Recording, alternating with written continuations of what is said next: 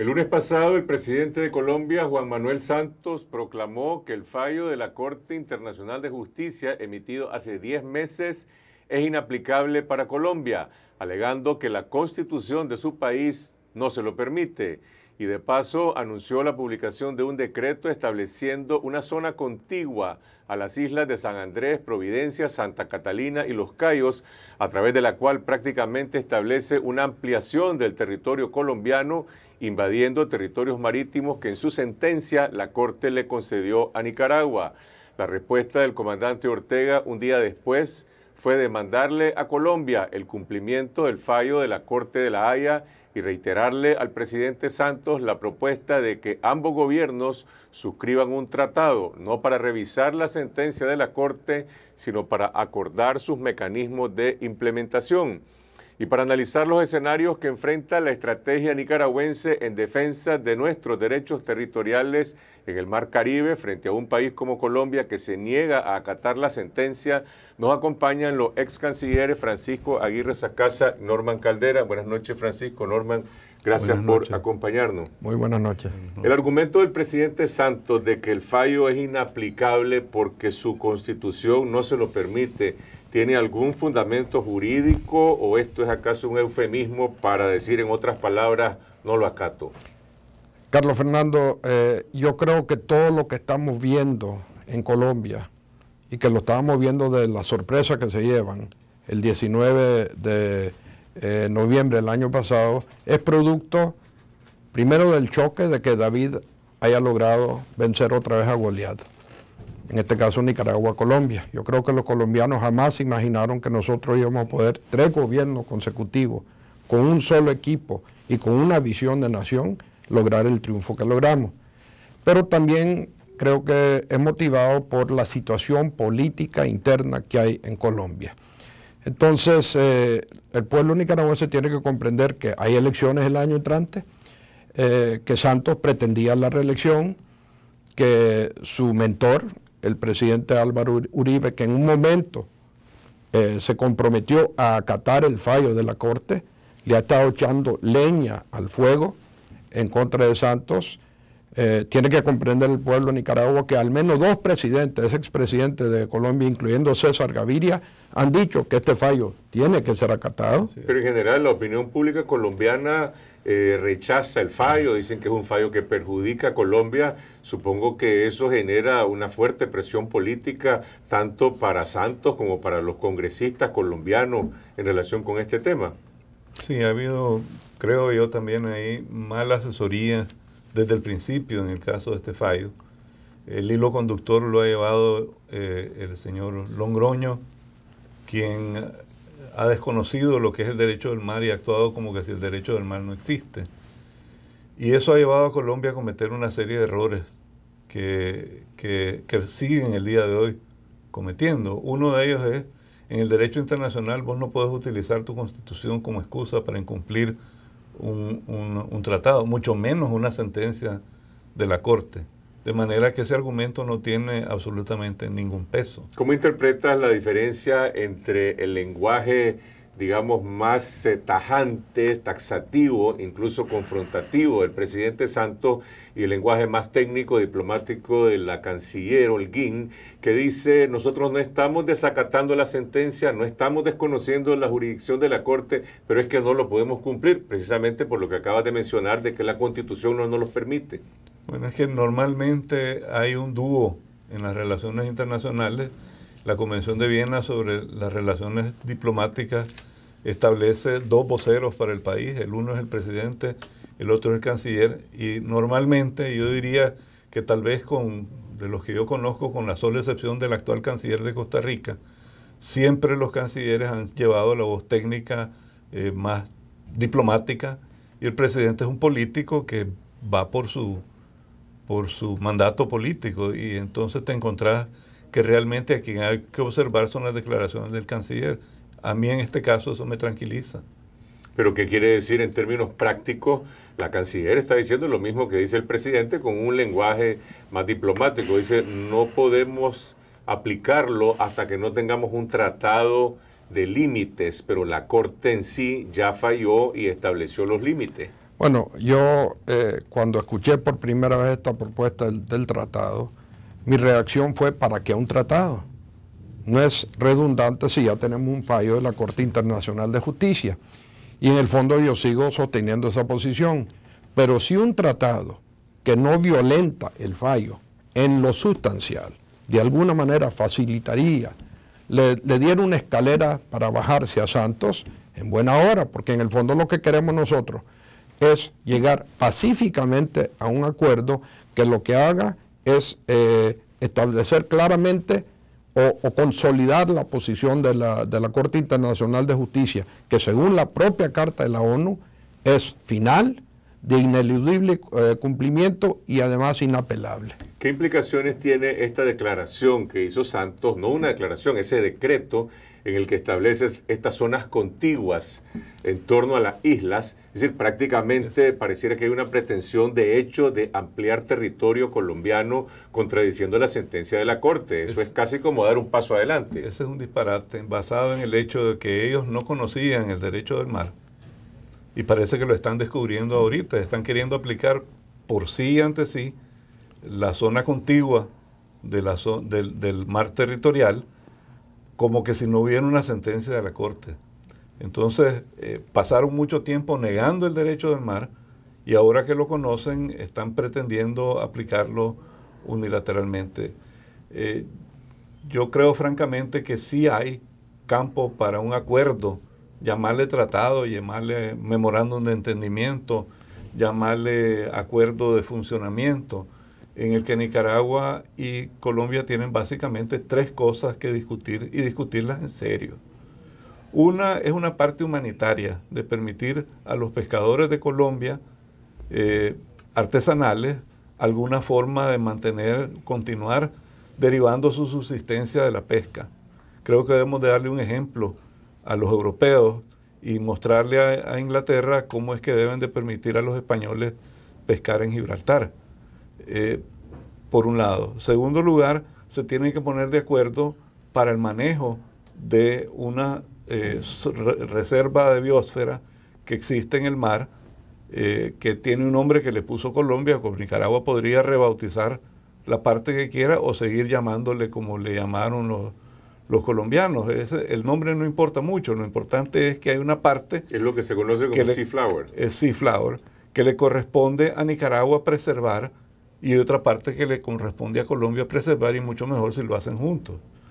Eh, debo añadir a eso que no es una tarea fácil, es una tarea cara y que requiere de un presupuesto y hay que coordinar acciones. Y la tercera es la coordinación en el área de eh, intercepción del narcotráfico, en el que lo mejor sería que estos dos países que están tan íntimamente relacionados eh, trabajen en forma conjunta para, para operar contra, contra el... Todo eso que está explicando el ex canciller Caldera se corresponde un poco a la situación anterior a la declaración del presidente Santos del lunes pasado. Es decir, así estábamos, a la expectativa de que se procediera a esas pláticas, a esos acuerdos que se derivarían de la primera plática que ya tuvieron los presidentes. Sin embargo, Santos dice el lunes, esta es la nueva frontera, nosotros no vamos a aplicar el fallo. Es decir, ¿cómo se puede llegar a ese entendimiento si Colombia está diciendo que ahora la frontera cambió y que ese fallo no se puede aplicar? Bueno, yo creo que Daniel Ortega tomó un paso prudente, eh, de estadista incluso en, tema, en temas internacionales, al invitar otra vez a Santos a sentarse y a buscar eh, la implementación, cómo implementar este, este fallo. Pero eh, aseverando que la sustancia del fallo no va a variar. Norman está hablando de disparates y estoy totalmente de acuerdo con él, que eso de tratar de unir esa plataforma eh, de los diferentes islas, las diferentes islas y Cayo es un disparate, pero ha salido con otro disparate. El disparate de tratar de eh, llevar al Consejo de Seguridad de la ONU una carta apoyada aparentemente por tres presidentes o dos presidentes y un jefe de Estado, el de Jamaica, eh, de Costa Rica y de Panamá, de alguna manera quejándose de todos los pecados que según ellos ha cometido en Nicaragua. ¿Al Consejo o al Secretario General de la ONU? Bueno, yo, él, dicen que la carta va a ser para el Secretario General. Inicialmente había dicho que iba a ser para el Consejo. Pero en todo caso, ese es otro disparate. porque lo que establece claramente la jurisprudencia internacional y la Corte de la ONU es que eh, si vos no estás conforme con un fallo de la Corte, como dijo Norman, lo llevas al Consejo de Seguridad. Pero aquí hay un fallo eh, que aceptó de antemano Colombia, que en algunas cosas ganó, en otras cosas, para mí más importante, perdió. Y lo que le van a decir los países del Consejo de, de Seguridad o el secretario general es, mira hermano, ahorita estamos con problemas serios como el de Siria, aquí hay un fallo, cumplirlo. Pero yo creo que puede ser peor, inclusive para Colombia. Yo creo que puede ir por lana y salir trasquilado, porque Nicaragua puede contraatacar. Eh, Colombia festinadamente se, repartió el altamar, como empecé a decir hace un poco. Se repartió altamar con Jamaica, se repartió altamar con Honduras, que a propósito debo de agradecer la prudencia con la que ha actuado Honduras en este caso. Se repartió altamar con Costa Rica y se repartió altamar con Panamá. Parte de esa altamar que se repartieron no era altamar, era territorio nicaragüense, pero parte era altamar. La Corte dice una cosa y es muy importante tomarlo esto en cuenta, porque la Corte no tenía jurisdicción para juzgar sobre los tratados colombianos.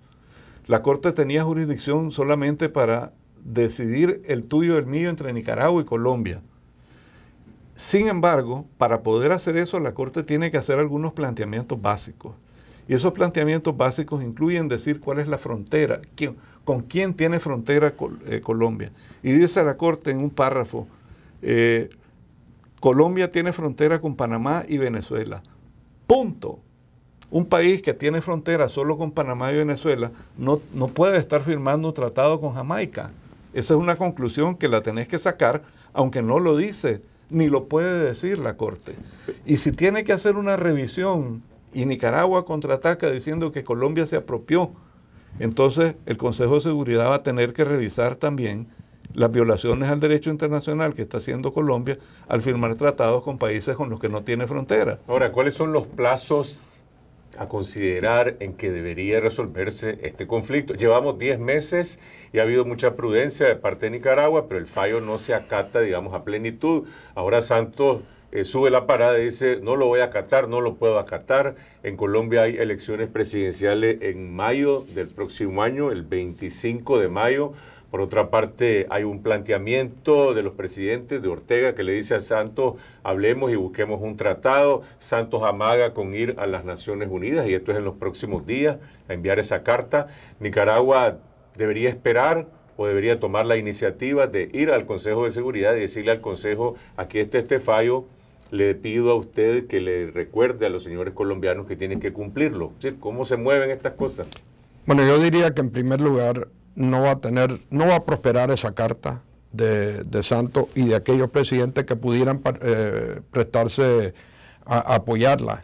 Y me parece curioso en particular el caso de Martinelli, leyendo las declaraciones de él diciendo que Nicaragua pretende llegar hasta, hasta el puerto Colón es un disparate también.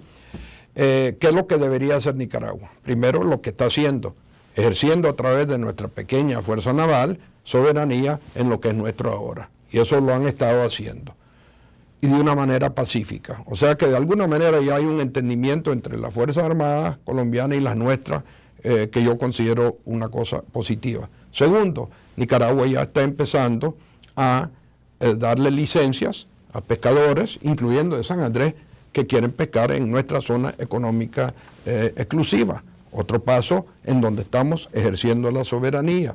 Eh, ya tenemos ciertos bloques para explotación de petróleo y de gas natural, otro paso positivo. Eh, y una conducta madura, civilizada, sensata, frente a un país que muchos pensaban que a lo mejor era más, eh, más civilizado que el nuestro y que ahora se está comportando de una manera en donde hace falta supervisión adulta, francamente. En, esa estrategia, ¿debe Nicaragua recurrir al Consejo de Seguridad? ¿Debe ser esto un último recurso o debe esperar que Colombia actúe y reaccionar? Es un poco difícil eh, reaccionar ante eso sin saber exactamente cuáles han sido las conversaciones que ha tenido eh, el, gobierno de Nicaragua con el de Colombia, porque tengan la plena seguridad de que han habido conversaciones. Esas reacciones eh, tan inmediatas no se dan generalmente eh, si no ha habido previo conocimiento de, las de las cosas que están pasando. Eh, tiene mérito, me parece a mí, salvo que yo conociera otra cosa, el, irse al Consejo de Seguridad y hacer ese, ese, ese esfuerzo preventivo, eh, si queremos. Pero no conozco todas las circunstancias de, de, lo que ha estado. Ahora, eh, una aclaración: la Corte, como tal, una vez que emite su sentencia, le toca intervenir en esta discusión. La Corte tiene dos entradas para, para después de que termine un juicio. Uno es una, una, una, una, una revisión que pueden solicitar eh, los países. Eh, es, la Corte no ha aceptado ningún recurso de revisión desde que empezó. No existe en su historia. En su historia no, no, ha tenido ninguno. Para eso se necesitan nuevas evidencias. Este, y después de 12 años de estar en este proceso, difícilmente pueden haber nuevas pruebas que, Totalmente de acuerdo. Y eso lo saben los colombianos. Y la otra revisión es una caja de Pandora. El, el, otro recurso, perdón, es una caja de Pandora para peligroso para los colombianos, porque sería un recurso de aclaración en primer lugar, entiendo que los dos países tienen que estar de acuerdo para que haya un recurso de aclaración. Pero aunque no fuera así, la Corte se cuidó de no meterse a, tocar los tratados colombianos en particular. Pero si ahora Colombia llega y en el recurso de aclaración se somete a la jurisdicción de la Corte, la Corte puede interpretar que le está pidiendo que le aclare todo. Y la Corte puede terminar aclarándole, el, tratado de ustedes con, Jamaica no vale, el tratado de ustedes con Costa Rica no vale, el tratado de ustedes con Honduras no vale, que no lo ha dicho con tantas palabras la Corte, pero que lo dejó delineado en la sentencia. El derecho y el planteamiento que Nicaragua ha hecho en relación a la plataforma continental más allá de las 200 millas es un tema que se debe de ver en el contexto de esta discusión con Colombia? ¿Es autónomo? ¿Cómo debería de manejarse? ¿Cómo debería prosperar? Bueno, yo creo que eso, hasta donde yo entiendo, porque no estoy en el equipo pues de, que está llevando esto a cabo, es una cosa que hasta cierto punto podría ser hasta el hijo de toda esta, de todo este, esta fricción, este ruido que hay en Bogotá. Eh, y yo creo que eh, eh, lo han usado los colombianos para echarle más leña al fuego, ¿verdad? Yo creo, Carlos Fernando, que vos citaste una cifra muy, una fecha muy importante, creo que finales de mayo del año 25 de mayo. Para esa fecha hay elección. Para esa fecha, esto deje el, tema, creo yo, y espero yo, del fallo de la Corte en eh, Colombia va a dejar de ser un, un, motivo para que los diferentes candidatos, eventualmente también el, el propio presidente Santos, dejen de de manejar esto políticamente y empiecen a actuar seriamente con, en cuanto a este tema. Lo que está diciendo el ex canciller es que Santos estaría como ganando un tiempo político para su reelección y después tendría Ver si de esa manera un hombre que tiene índice de desaprobación de su gestión del 80% puede de alguna manera lavarse la cara y, y ganar algo de popularidad. Sí. Así lo veo yo. Yo también. Porque, como dice Norman, que por cierto ha escrito un libro extraordinario eh, con eh, Mauricio Erdosia, y que creo que lo que quieren conocer cuál es la relación con el fallo y la situación real y de una manera que no es técnica, lo deben de, de buscar. La otra Nicaragua en el mar.